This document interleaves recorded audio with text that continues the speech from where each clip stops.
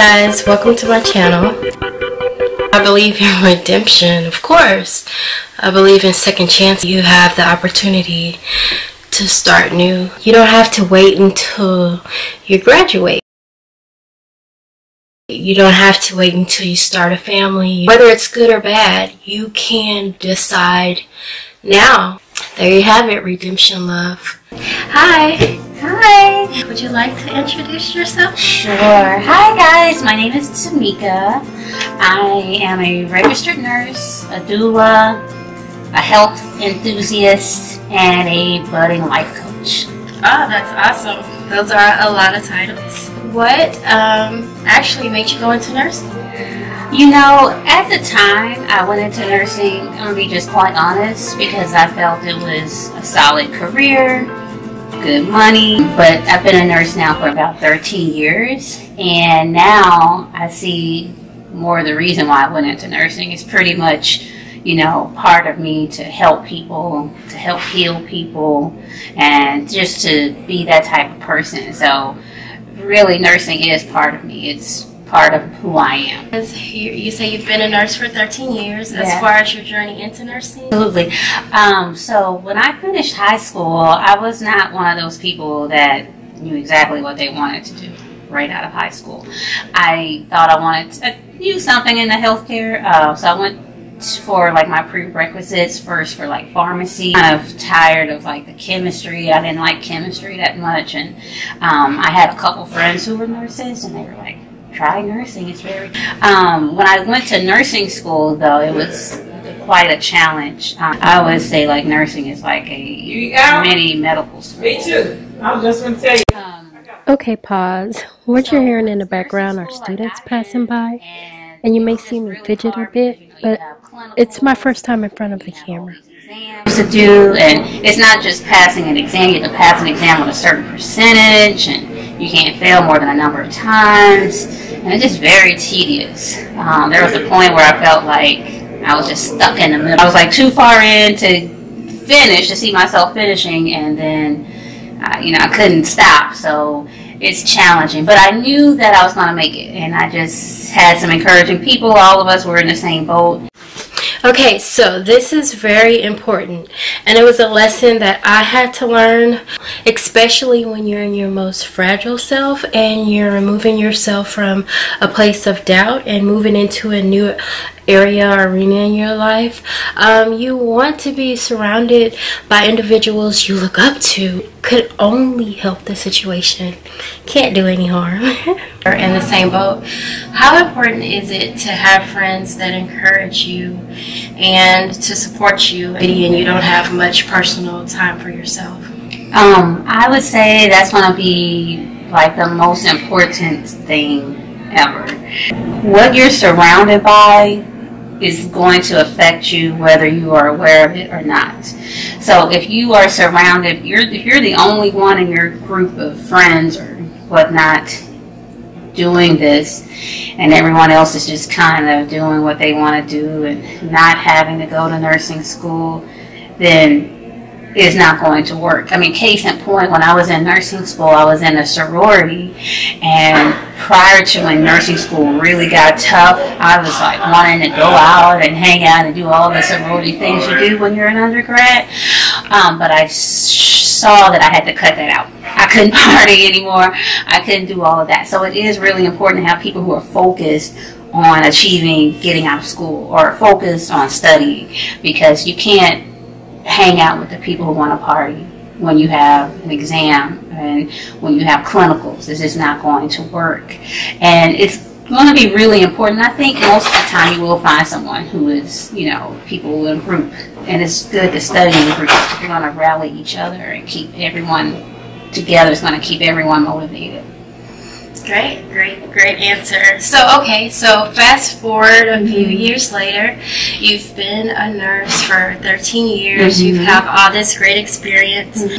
Where are you now with nursing?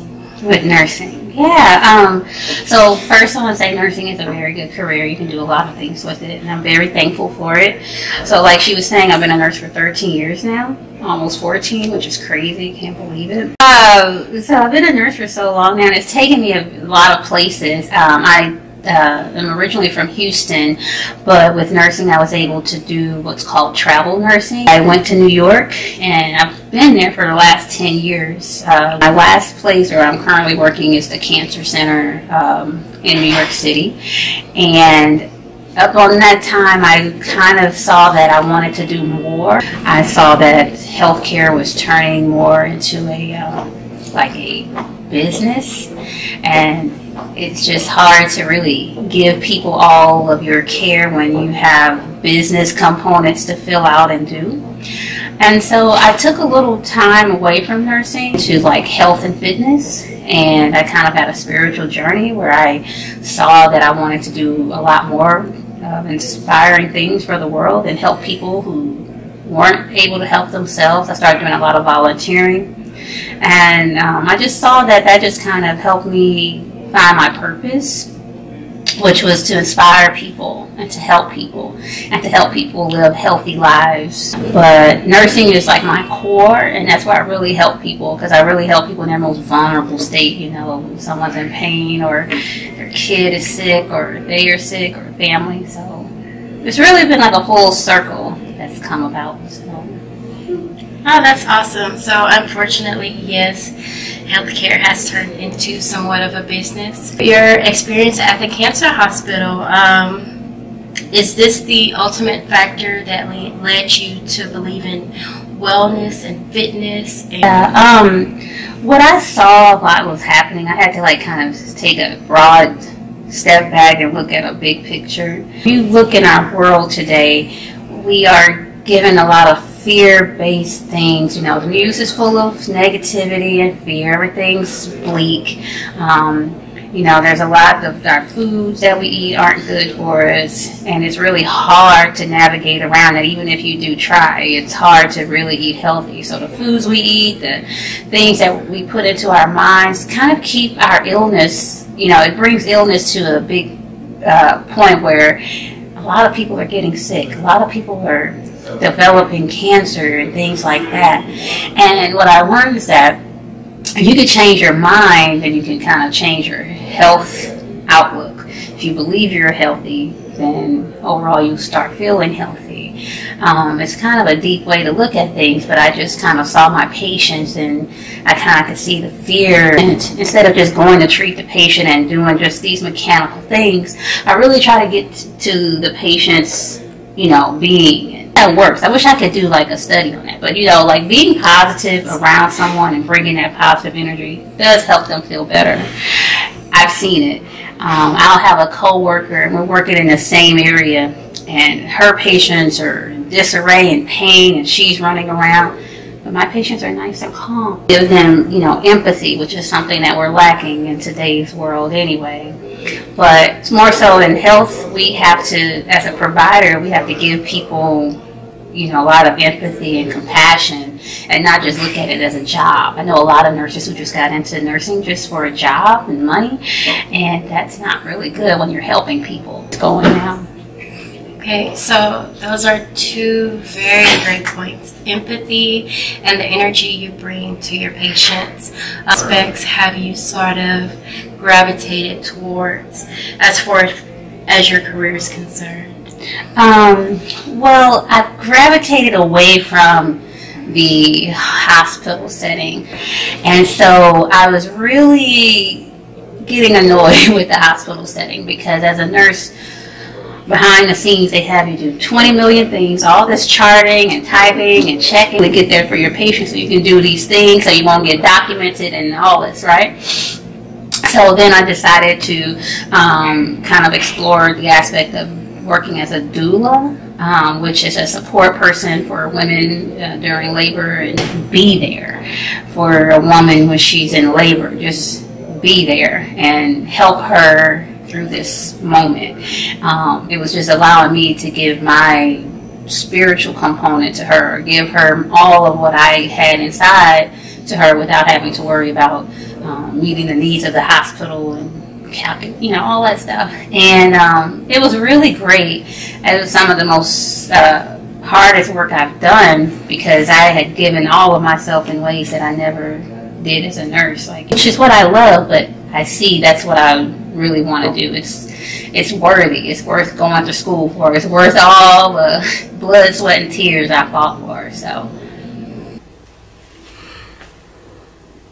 So time waits for no one. And it's essential that you move forward and you start from where you are. There's no such thing as it being too late.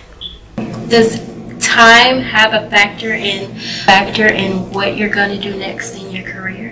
Well, that's a good question. You know, because I think in our world today, as we get older, um, we think we've missed a deadline or something. You know, we're not in this whatever we're you know box we supposedly have for ourselves at a certain age and we feel it's over. And i want to squash that myth because that's absolutely not true. And i feel like as the older we get the wiser we get anyway. So sometimes as you get older you're you're, you're making better decisions and you're doing things um, in a better way. And our society makes us feel like if we haven't done something by the time you're 30 and that i'm like you're so young. You have your whole life ahead. It doesn't matter if you're. I mean, I made a life change. It was start. I'm almost forty. I made a life change. I made a life change when I was starting around 35. I was like, okay, something's you know in here eating me up. I want to do something different. And now that I'm this age, I'm like, this is the perfect age. And I read in a book, and people who created these amazing things in life didn't do until they were like after the age of 35 or 40. Absolutely. You know? so don't get too caught up in your age and thinking you have to be this young person to do things. I mean, we all know when we were 21, you know, you didn't make what you were doing, you know? I feel so much wiser now. Like, yes, I'm wise and, yeah, I know. But don't get caught up in that. And I hate that society makes us feel that way, especially women we're not doing something at this age, then we're just as toss us out. That's so false. Just always believe that you can start at any time, even if you're 60, 70, whatever. You're still alive and you're still on earth. Do it. Right? Amen. maybe share your Instagram account. Oh yes, my Instagram is Tambrea, T A M B R E A, and uh, on Facebook that's Tameka Nicole, T A M E K A Nicole, N I C O L E. I'm going to um, go ahead and place the links below. So please click below and we're going to follow Tameka's journey and we're going to see how she incorporates the love she has found within herself to extend out to her patient. So thank you for watching. I appreciate you for tuning in. I know, I know, I know. I was a little nervous in the beginning and a little apprehensive about the camera, um, but we're gonna work on it. We're gonna work on it. Please like and subscribe below um, so you won't miss a beat.